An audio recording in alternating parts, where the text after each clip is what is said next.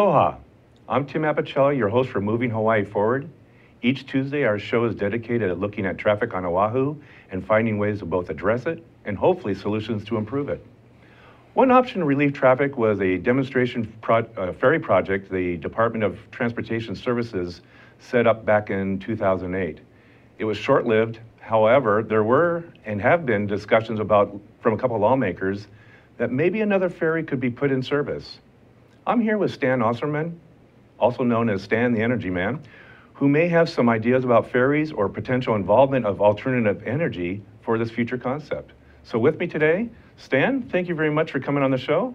Very much appreciate it, and I'm looking forward to uh, some of your ideas about not only ferry service, but also um, alternative energy for other vehicles. So, thank you. Good to be here, Tim. Yeah. Nice to finally meet you, and congratulations on your show. Oh, appreciate and, it. Uh, it's been looking good so far, so I'm, I'm really impressed. And we definitely need to be talking more about transportation. As you know, Blue Planet keeps giving Hawaii and Oahu a D minus and D plus area for transportation, and we're not doing too well in renewable transportation so far. So Yeah, and thanks for the Texas. Texas A&M, um, their traffic uh, um, review for the nation puts uh, Honolulu about number seven. So Yeah. We're, we're always either six or seven, and uh, that's not a good place to be when you're trying to attract tourists. Nope, sure not. Yeah. So Stan, how did you get into the alternate energy uh, business, and how did you all start this? Well, I was actually uh, working with the National Guard. I was uh, an active duty officer, uh, full-time officer, I should say, with the National Guard um, for the last 35 years.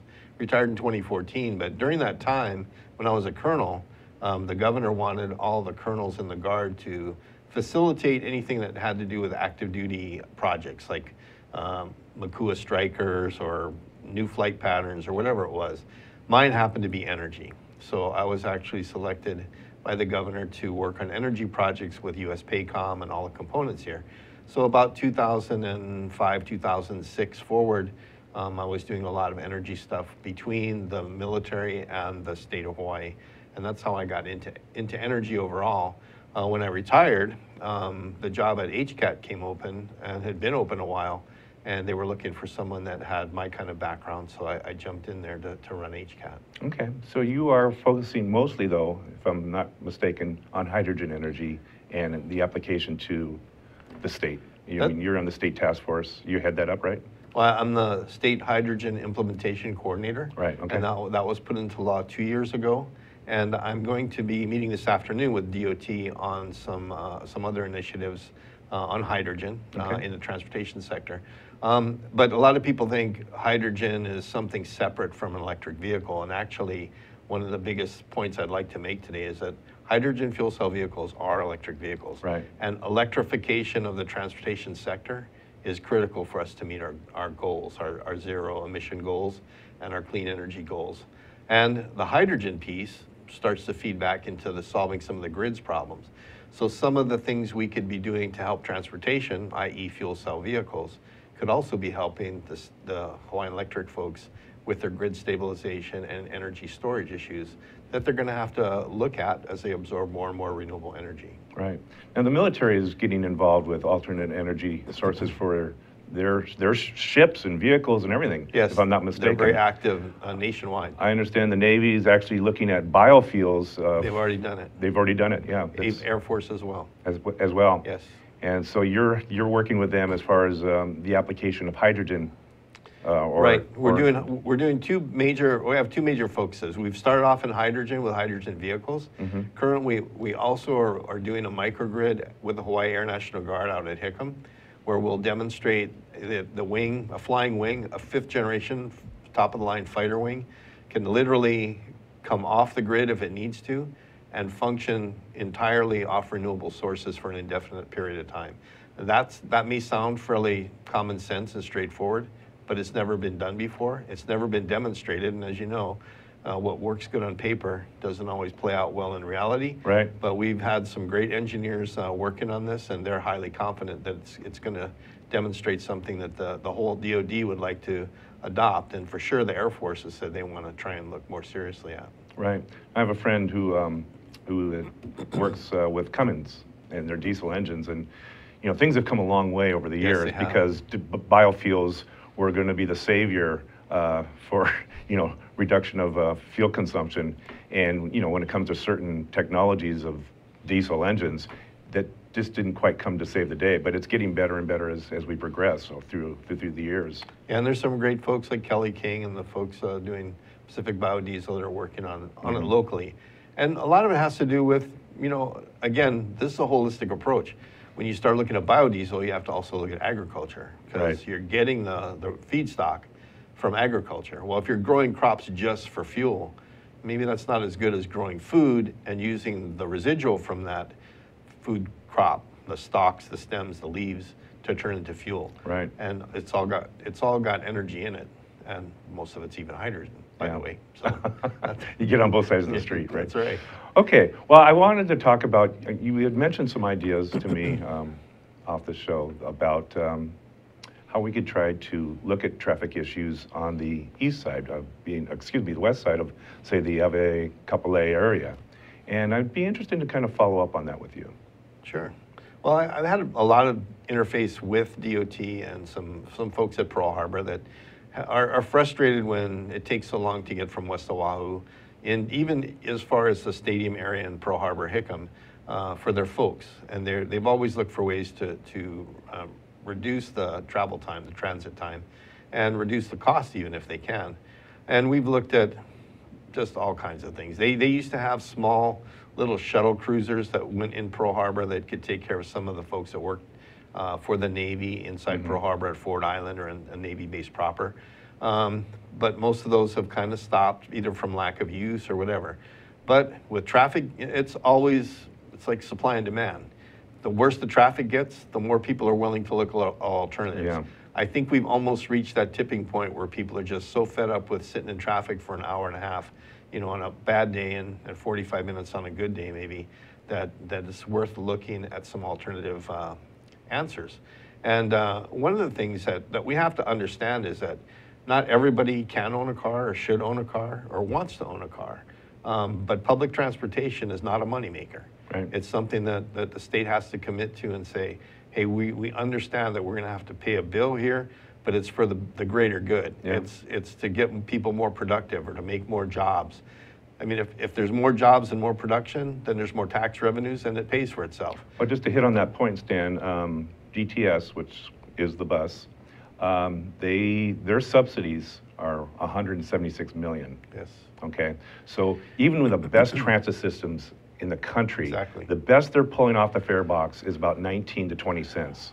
Maybe it's a little bit better nowadays, but maybe it's around 20, 21 cents. But that leaves an 80 cent, um, an 80 cent off the dollar deficit Yeah. for each and every person that gets on that bus. Exactly. So, Like I said, it's not a moneymaker, and anybody that goes in thinking it could be or gets sold that it can be, it's, that's a tough, that's a tough case. yeah.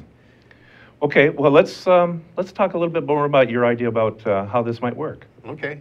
Well, one of the things that I can tell you is that the transportation is always, uh, in a business sense, it's always a lose. If you can cut transportation logistics costs, you're, you're getting way ahead. And, and most of the folks like Amazon and, you know, folks like FedEx and UPS, they get it.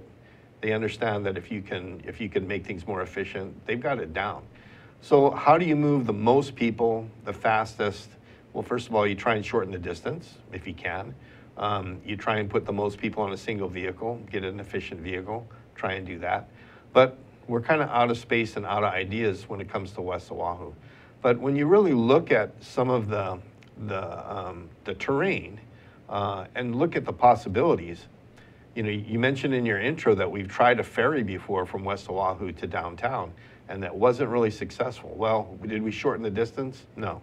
Did we make it more convenient? Maybe when it was working, but when it didn't work, you were screwed. Right. And then you had to be out in the big in the ocean. Well, I'm a fisherman. I've designed boats and built boats, and my son and I have fished for over 25 years. And the Hawaiian Ocean is nothing to fool with. You get outside the reef, you're you're in serious uh, Hawaiian waters Yeah. that'll that'll take a, a big boat and make it real uncomfortable at best. Yeah, it could even and- be dangerous. And during that demonstration, the, the duration was a full one hour. I mean, right. that's, So that's a lot. save you time. That's, that's enough time to get you green in the gills, so to speak, yeah. Yeah, if you're prone to seasickness, that's just another yeah. thing added to But the. did it save time? Okay, I'm gonna That's a great question, and I want to address that because I had uh, last week two guests on. They were both commuters. One gentleman, I think he woke up at 3:30 in the morning so he can be at work at seven. Um, he had a solid two-hour one-way commute into town, and the other gentleman, he woke up at 5:30 just so he can get to Pearl. And so, um, what was fascinating though is I, I asked him the question about what do you do when you're, you're you're in bumper to bumper? I mean, how do you feel that time? And is it stressful? It has to be stressful. Um, and the gentleman um, that went to Pearl Harbor said the following. He goes, "You assume that it's relaxing because you know you have the music on." But he said, "But you're not relaxed. You're in a constant state Right. of, of being trying to be alert so you don't get into a fender bender. So you're never in a state of relaxation. Whereas, to answer your, you know, to address your comment, if you're on a ferry for an hour, you actually can relax. You can Right. read the paper. You can take a nap before you go into work. And, so and that's, that can be said for any kind of public transportation. People on the bus will read, uh, listen to, listen to books on, on tape. Um, I, I lived in Washington DC for a summer. Uh, people on the metro there are, you know, they can actually sit down and start work. They Yeah. can start working, they can work on their laptops, they can, they can do a lot of things. Yeah. You can't do it when you gotta pay attention to the road. I mean, if you're can't. paying attention here, you're part of the problem causing accidents that make this trip, the commute even slower. That's correct. So, you know, um, duration, comparing duration um, is a valid point, but I think there's a, a state of relaxation that you get to enjoy on one mode Exactly. versus you're being a single occupancy vehicle driver. So, Exactly. um, that's why I think the ferry is still a very viable idea and a good, good concept. And we'll talk a little bit about how the project was set up to begin with and the expectations of what, what was a viable um, success. And I think sometimes um, transit agencies tend to set the bar a little too high. And then after a year's demonstration project, they said, well, we didn't hit our numbers, we weren't even close to the numbers, and therefore um, this demo didn't work, and we're not going to do it again.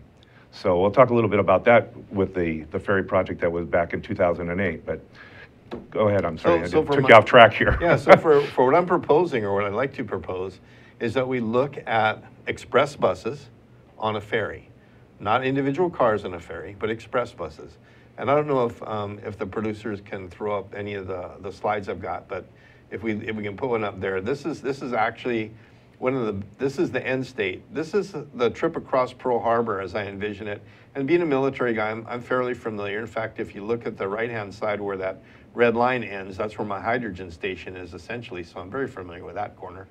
But what I've, what I've done is drawn a line from uh, a formerly used part of Iroquois Point, which is basically abandoned and owned by the Navy right now with a perfectly good landing site for ferry boats that could make a very short commute inside Pearl Harbor across the channel, which is maybe 500 yards. I mean, mm-hmm. it's, it's almost like a bridge makes more sense, except you can't put a bridge there. And if you used express buses, and you put people in express buses, maybe had a big parking lot. One of my other shots actually spans out a little bit. You can actually see where you could park cars on the right-hand side there, where you could actually park some vehicles. I, I, I outlined it. Where is it in black? Is that in right. black? Okay. Yeah, Mhm. that, that's all Navy uh, slash state land that's uh, not currently occupied by the Puuloa Rifle Range or any of the housing at Iroquois Point. It's just old um, weapons storage area that's been abandoned and could be used for like mass parking and shuttle buses. I don't know how many acres that is, but I would imagine it's probably at least 100 to 150 acres. It's a lot of area. That's a lot of area. Um, you could put PV in to cover parking. You could put a, a bus uh, depot in there. And on the left, if you look farther to the left at, Bar, at um, Kalaeloa, that's also state land that's turned over from the Navy or in the process of being turned over from the Navy that could be used uh, also for parking, and the buses could start there. And there's several routes that could get you from there to that, that Mm-hmm. um, drop-off point for the ferry to go across that short channel. Right. And again, that does shorten the commute, which is part of the key, and it also keeps it in the calm water of Pearl Harbor Channel. You can schedule it, the, the, you can put a controller there that makes sure that you deconflict ships coming in, and ships do come in and out of Pearl Harbor quite often, but it's not Yeah. constant, and you could definitely synchronize the ships. Okay, well, I'm going to ask a couple questions about that when we come back from our commercial break. So, Okay. uh, this is Tim Apicella. We'll be right back. Aloha, this is Keli'i Akina with the weekly E Kako. Let's Work Together program on the Think Tech Hawaii Broadcast Network, Mondays at 2 o'clock p.m. Movers and shakers and great ideas. Join us. We'll see you then. Aloha. Aloha and Happy New Year. It's 2017. Please keep up with me on Power Up Hawaii, where Hawaii comes together to talk about a clean and just energy future. Please join me on Tuesdays at 1 o'clock. Mahalo. Aloha, I am Reg Baker, and I am the host of Business in Hawaii with Reg Baker. We broadcast live every Thursday from 2 to 2.30 in the ThinkTech studios in downtown Honolulu. We highlight successful stories about businesses and individuals and learn their secrets to success. I hope you can join us on our next show on Thursday at 2 o'clock. Until then, aloha. Welcome back. I'm Tim Apicella. This is Moving Hawaii Forward. My guest this afternoon is Stan Osserman, and we're talking about the ferry, and we're talking about the viability of, of maybe another ferry could be uh, um, implemented, and we could try to move people from the Ewa area or the Iroquois Point to uh, Pearl Harbor area. Stan, thanks. Thanks, Tim. And yeah, where we, where we left off, we were talking express buses. And you could also put some passengers on there, military passengers, that if they had their military ID, when they get to the other side on Hickam Pearl Harbor, they could show their ID and get off the ferry, but the rest of the folks have to stay on the bus. And then the bus would route itself straight to the freeway, uh, counterflow to the traffic coming into Pearl Harbor Hickam.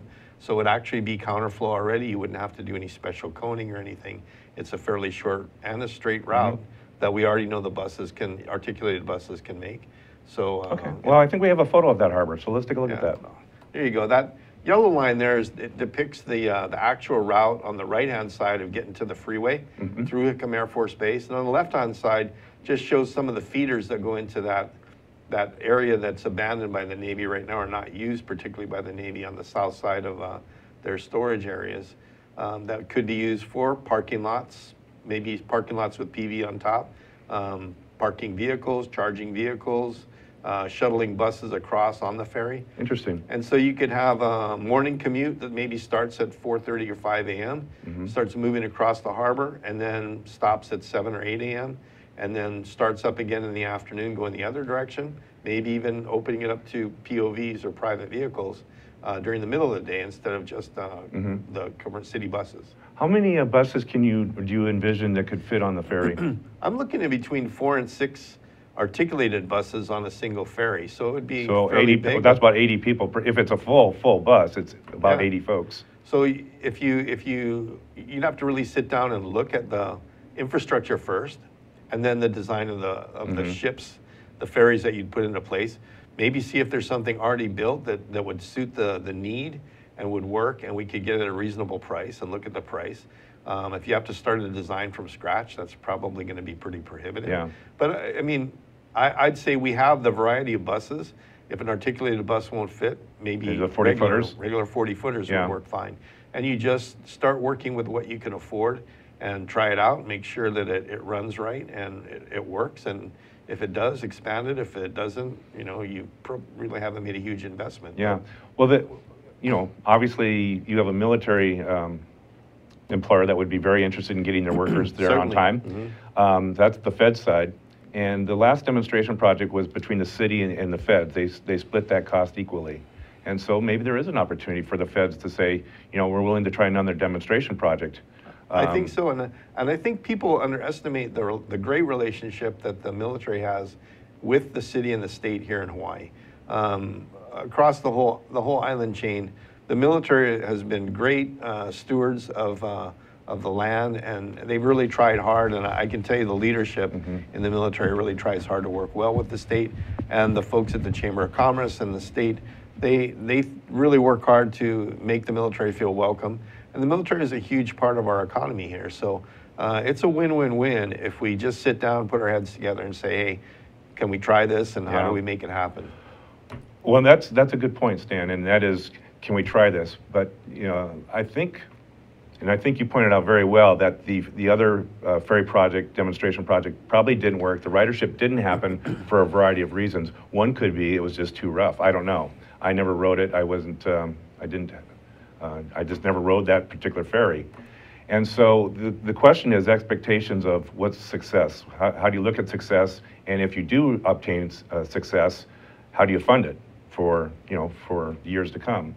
But uh, here's an example where expectations are created for a demonstration project, but not necessarily realistic. So back in 2008, before they uh, put that ferry into place, again, it went from um, Barber's Point to Aloha Tower, Pier 9 on Aloha Tower, uh, Right. Pier 9 and Aloha Tower area. And so they estimated they were going to take 400 cars off the road. Doesn't sound like a lot, but you know, 400 is better than nothing. And so when I did some digging though, I mean, each, the boat that was used had a capacity of 150 people. And there was only three trips in the morning, there would be a responding, you know, three trips, afternoon. yeah, return trips. So if you take 350, uh, 150 times three trips, that's 450 maximum capacity. They were estimating 400. Okay, so that, that tells me that they thought they were going to get ridership uh, well above 80, 90%. And, you know, that doesn't happen. It takes years to grow ridership, Right. be it a new route on a bus, Right. be it, uh, uh, I, I used to uh, ride a water taxi from West Seattle to downtown Seattle, and it took years to get the ridership up. Right. where people could depend on the boat, it was on time, um, and it took, you know, about at least three years Yeah. for people to feel comfortable. So the point is, a demonstration project maybe is, um, should be more than one year Right. uh, to see what, you know, how do you, how do you tweak it left, how do you tweak it right to get the right mix Yeah. so that this thing can be successful. Exactly, and, and I think scaling is part of that. You know, it's like the problem we have with hydrogen right now. How do you get it on the road and transportation? Well, where do you start? It's gonna start small, and it's gonna have to grow. Some things scale well, some things don't. This kind of project could scale pretty well. If you made one investment in one ferry that could move four 40-foot buses, which is, which would be kind of on the low end. You talked about, what, 80 people per bus on a If I'm 40 art- articulated. Oh, an articulated Max, bus? Max. Okay, so let's go with um, maybe 50 people on a 40-foot bus, Mm-hmm. including people standing up. You got four buses, that's 200 people right there. Right. And On we one start trip, off, one yeah, trip. on one trip. And they're making, from that, that short distance, that's probably a 10-minute drive. And, and that includes docking on both ends. It's, Mm-hmm. it's like almost longer to try and dock on either end than the whole trip, it's, than, than the, than the transit itself. Yeah. So you Um, think the, the shortest um, interval would be about 30 minutes at best? I would, I would think that that would probably be the longest The interval. longest? Yeah. Well, you know, you're, you're, you, you've done, you know. you've 15 to 20 minutes, Yeah. I think, to get across the channel is, is literally five minutes. Okay. It's going to be positioning the ferry into dock it and do it safely. Right. And maybe having to wait for a, a ship to clear the channel before you can cross. Those kind of delays would, would increase the time. But again, Are those facilities there now? Are they all set and ready to go? well, what's interesting is the, uh, and and Zuri just put up uh, the images again. On the right-hand side there, um, that whole landing is actually completely unused. It's, it's an old, um, it's an, an, an old landing for, for ships and, and offloading, um, like uh, the big cargo ships and things, but totally unused. Has a, a fairly large parking lot, I would say 300 feet by 1,000 feet in front of it, which could be used for uh, maneuvering the buses around and, and getting them in and out of there in the afternoon. Uh, to the right of it is a, a wastewater treatment plant, so it's not going anywhere, and it's, it's not a facility that has a lot of uh, vehicles and stuff moving in and out. And to the left is where the Army puts their ships that do transport. So it's, it's, that, that area is already taken up. But that area where the red line ends on the right is pretty much unused. The one on the left, um, Special Ops uses it from time to time for training. Um, it was put there originally for unloading and offloading munitions, and all those little pads you see in the green area to the left, they're basically empty concrete pads. So So it's almost all ready to go, it's- almost. There's gonna have to be an investment there, but Mhm. it's not eight hundred million dollars or, or, you know, anything close to what we're spending on some of the other alternatives we're Right. looking at. So I I think if we scaled it small enough, started it off, like you say, give the ridership a chance, uh, give the, give the, the, um, confidence in the system a chance to prove itself and have people like go park down there, jump across, get over there, Yeah. be in downtown quick. Let me ask you the, um, the correlation between start times at, at the base versus where the, um, you know, the, the gridlock actually begins on H1. So what, what are the starting times, do you think? Um, Well, Pearl Harbor Shipyard actually starts fairly early. Yeah. Those folks are in five, five thirty. In fact, um, probably the, the, the um, harbor picture that, that we had up there, I could actually point to the areas, my son works in the shipyard. They have to park like a half mile away from where they're working. I mean, when you look at the, the shipyard is just on the, uh, the north side of Hickam, so it's about the top 30 of your picture. That whole part of Hickam is the, uh, is the shipyard. Right. And if you look for the big parking lots, they're a quarter mile or a half mile away from where the, most of the guys have to work. So if you had a, a shuttle bus that went on the ferry from West Oahu that was on with the other buses, that was just servicing Hickam, and the people showed their, their shipyard ID when they got on the shuttle bus, and it went straight there, those folks wouldn't have to drive in and out of Hickam, and they could probably start uh, their, their typical time and decrease the traffic that starts at 4 and 5 a.m. uh, from West Oahu. Right. Um, likewise, uh, I've actually been approached by some of the contractors for Joint Base Pearl Harbor Hickam to do shuttles on Hickam and Ford Island. Really? Again, that use like the, um, the, um, the boats that aren't used by Arizona um, Memorial Tours to shuttle people See, more now that like would the be, old. that would be a fascinating uh, perspective because here's the problem when you get to with um, the Department of Transportation Services. You're, you're basically trying to, you, you called it an express bus, but what, what the transit people call it is a custom bus. And the problem with a custom bus is that it's geared towards a specific targeted employee base. And what they want for recovery, believe it or not, is 100% of operational costs. Now, remember, I said all your other regular buses are getting, at luck, at best, maybe 19, 20 cents on the dollar. But because it's a specialized bus, they want, a, they want 100 cents on the dollar, which makes it really, really difficult. Well, that's, Um, uh, that necessarily isn't realistic. So I No, mean, it's not. If you just have to make a point to them that for this experiment, try Yeah. it. It Well, might, it and, be and here's how we got, think. I mean, we ran a lot of, a number of custom buses to the Boeing Corporation. Uh, They had their main plant up in Everett, Washington, and we would go from South County all the way up to Everett, Washington. And uh, what, what would happen is you look at what the, re- the revenue was recovered from those who wrote it, but that differential, the Boeing company actually. for. Would pay for it. Exactly, and that's how you do this. Uh, the Pentagon works the same way, by Mm-hmm. the way. It's a federal agency. But you work in the Pentagon and you agree to take public transportation, they give you a, a, a um, pass. Yeah, they're gonna give An annual pass pass, yeah. for the whole trip. So if you're looking for that kind of return and the government's willing to say, yeah, we're employers of uh, X number of people out here and it's worth, it's worth our effort to, to help. Mm-hmm. That's how those things work. That's the kind of effort you need to make. Yeah. Well, Stan, you know, what I love about this show is I have guests that come on that bring new, innovative ideas, things that haven't been really thought about or they've been tried. They, they, you know, here's a new way of trying something new, and rather than just sit in gridlock and just be frustrated, we're bringing solutions to the table. And I can't thank you enough for bringing your solution to this table. And I think it's a, a topic worth of, worthy of discussion in the future. And um, I'll be I- glad to come back and I hope talk about how we'll implement it someday. Okay, good.